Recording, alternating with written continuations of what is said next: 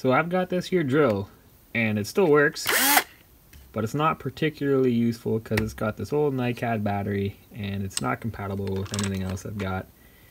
And I never know if it's charged or not.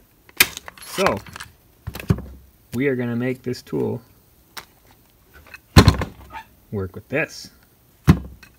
Now I've got a little adapter here that just slides on like so and that gives me 18 volts out of my Milwaukee battery. So the trick is to make this the bottom of my adapter and make the top of this battery the top of my adapter. Now they're a little bit different shape, so that's going to be a fun adventure figuring out how exactly I'm going to make that work. And this tab here goes beyond the seam in the casing, so I'm going to have to cut this off and glue it. Otherwise, see there's these springs in here that'll just throw the thing off. So step one, let's open up the battery. Woo, what did I do?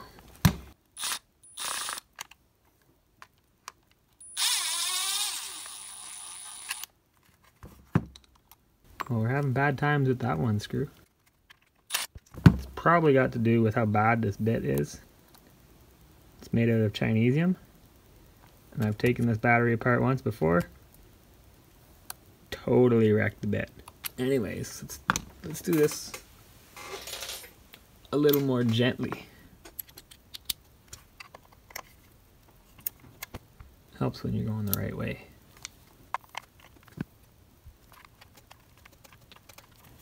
There's the trick, you gotta pull on a bit of an angle.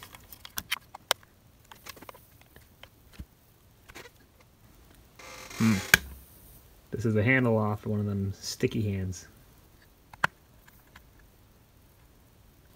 I just didn't want to have to go upstairs and get a rubber band.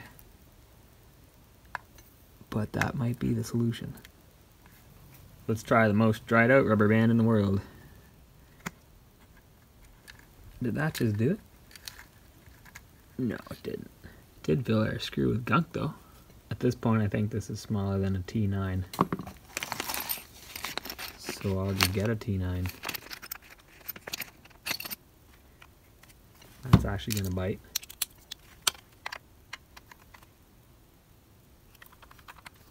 And that'll turn. And that'll turn. And that turn. Now how about this one? There we go. How are we doing? Noticeable signs of damage and I've never used this T9 before. That's the kind of Chinesium quality you can expect from, where the heck did I buy these, Amazon? Anyways, back to our totally ruined T10. See if we can turn them at all. Oh yeah, just not enough for that initial spin off. So, Never do things by hand if a machine will do it for you.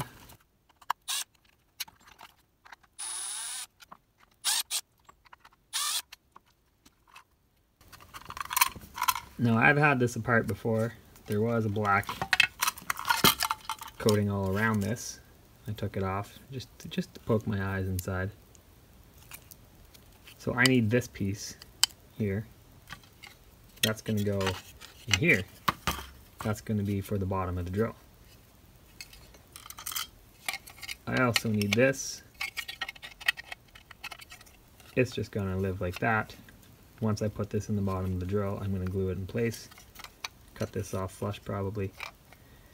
And then we can forget all about this. Spring. So how are we attached on the bottom? Spot weld. So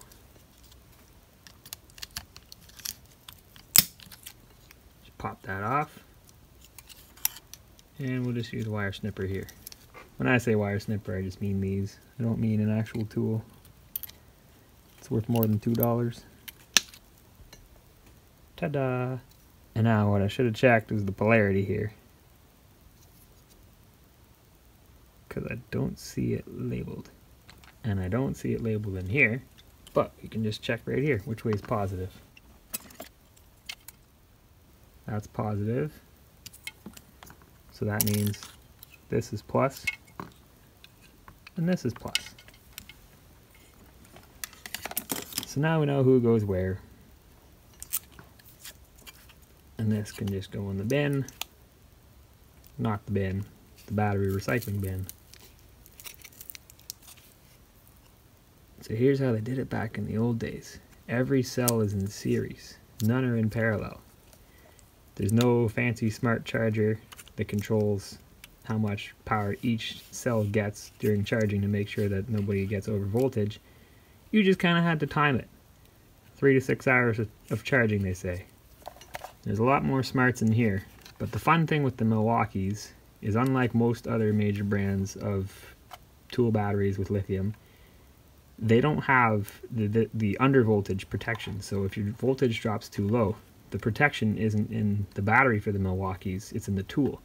Most other brands, it's in the battery. So we'll have to be careful. But this is a 12 amp hour. It's probably never going to run out with this super cheap drill that I have here. This is for my chainsaw normally. So this guy will go in here like so. Beautiful. Now once that's soldered, I'm just going to glue it in place because it's not going to be a quality job. It just needs glue. Now which way do we want the battery? Well, this is the back of the drill over here. the button is on the back of the drill, so that would put us like this, which is backwards from how most Milwaukee tools are with their batteries. Because if you look at an M12, here's the front of the tool, here's the front of the battery. The kind of stick out part is on the front. I don't have any other 18 M18 hand tools right now, so let's give it a little recreational idea. If I put it down here, would that fit?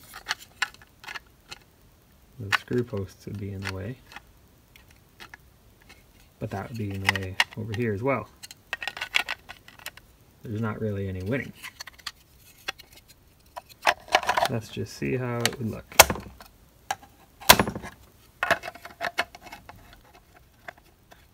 I think that's fine. Something like that. This battery is made in 2012 and it's not even the original. This is a replacement, so I don't know how old the drill is. Probably 2008 or older. So, We'll put it in this way. Now, if only there were a nice way to make a bridge across here that I could affix this to. I'll come back and do some thinking. Alright, I figured out my basic concept. I took this plate, which was from the bottom of the battery shell, and I did a real beauty of a job taking this little end off here so that it would fit in here. Now this gets you almost the same level as these supports that barely touch this. So if I put this on top, I'm supported in both spots. And then I'm just going to glue it like crazy in here. Put this on the tool, and then I can glue the button in place once we're on the tool. So before even doing that, I got to cut a hole in this so I can get through to my wiring, which will go this way. Probably got to cut these down about halfway. Don't want to cut her down too far pass these through, hold it like that and solder on. And this can come out obviously to make things easier to work on. So that's the next step now. So where does my hole need to be? Right around there. We can be fairly vague because this isn't too structural in the middle. So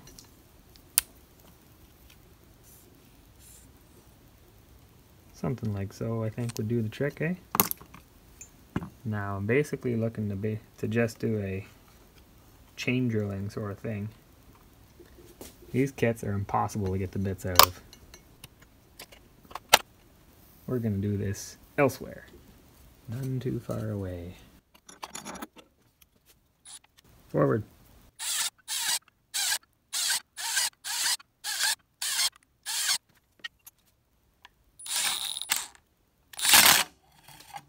Woo. That's a little more violent than we needed. So we'll try a more intermediate size. Not get so brave and take so much material at once. To do that? That's something. clamp her down a little better. Beautiful. So the wires will go through here and do their thing. Do I have that the right way? Yeah, what, what the heck way did I say I was going to do it this way, eh? Yeah, that way. So they pass through like so. Let's get a feel for how stupid that may or may not be. That puts this sitting on top of our ejector button. So that means I can't glue this until I glue this down, because this has to get glued once this is in the drill. Or I extend my holes a little bit. Let's do that instead. Right, so here it is. Made the hole a little deeper this way. Fits through there, fits through there.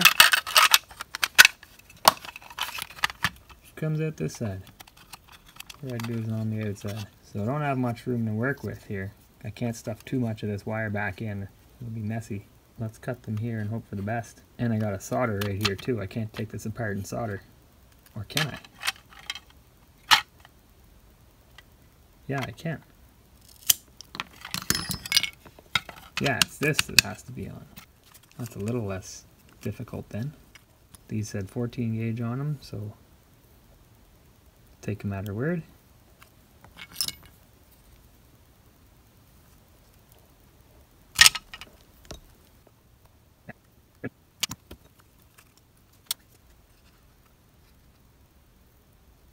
Can we get a buddy to hold things?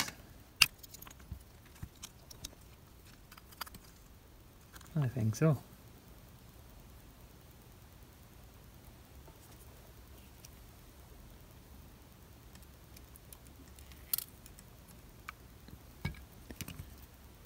That's fun. Solder just rolls. Let's make that a little flatter. Yeah, it doesn't really stick too well. That's kind of annoying. Alright, what can be done here?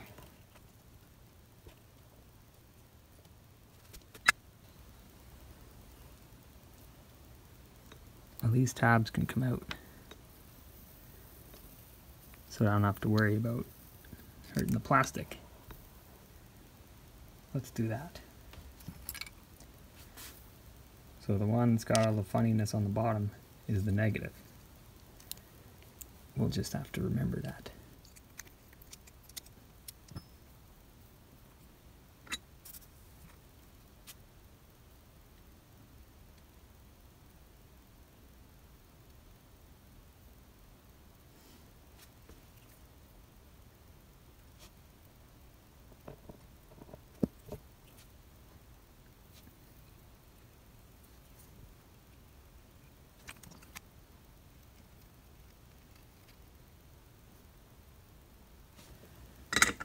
Now how well does that stick? Good enough to pull it out of that. I'd give it a pass.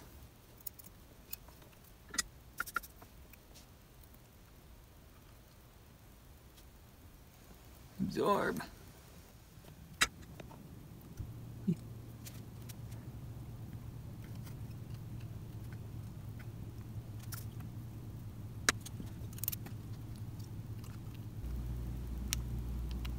That's hot.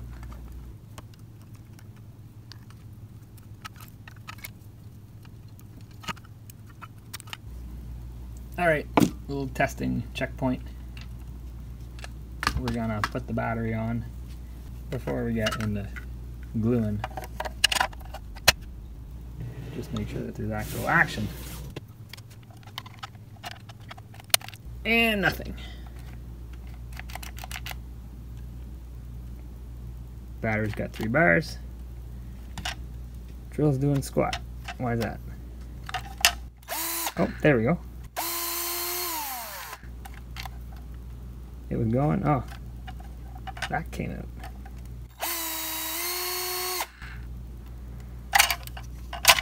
So the key here is to not let those tabs float away. Sciencing really good. When you have contact, you have contact. That's the lesson here. Now this basically only needs to contact once. And I wonder, oh, I guess this little wall here probably holds these back.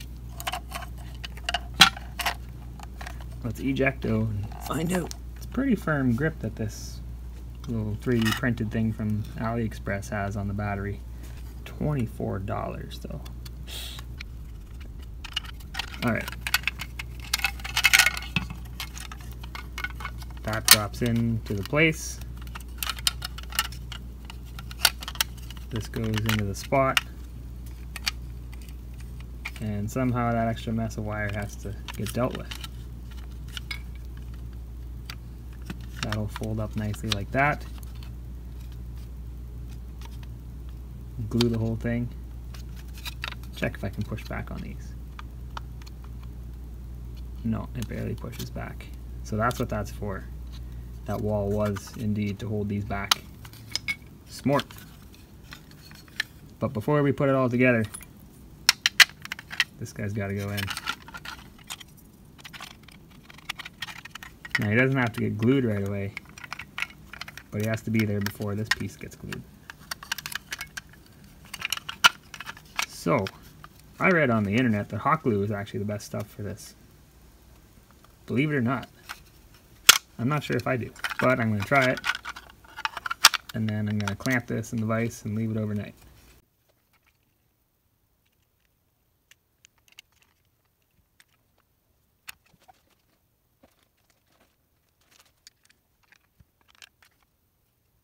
Gotta get it fairly straight. It's not gonna be perfect. And I'm realizing now I'm not gonna get it on the rail properly. Oh man, is my new glue stick a different diameter?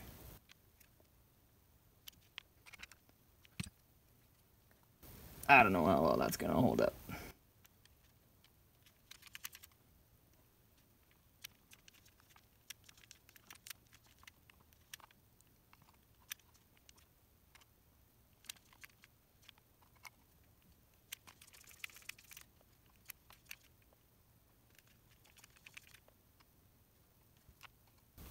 Definitely wants to come apart. So I definitely have to clamp it for a little bit.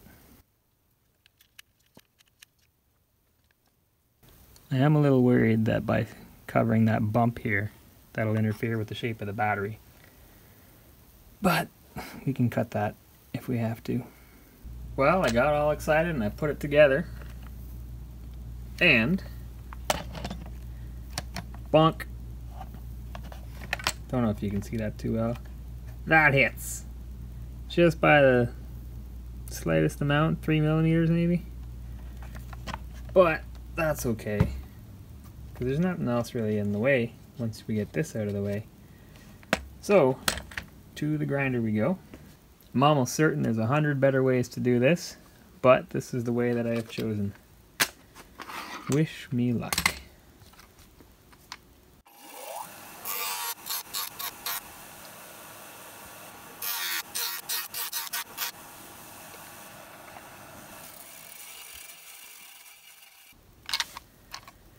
Well, she's not pretty, but she fits. I think. Yeah, she fits. So I've got the hot glue gun plugged in, and the last step is to glue this guy in place. Once I get this on. I'm kind of thinking maybe I should leave that out. Not glue it because this won't fall out. And that way I could get at this if I need to put a different battery on. Yeah, maybe I just won't glue it. Good thinking, self. So, let's put this back on. And let's put this on. And there we have it. She's a beaut.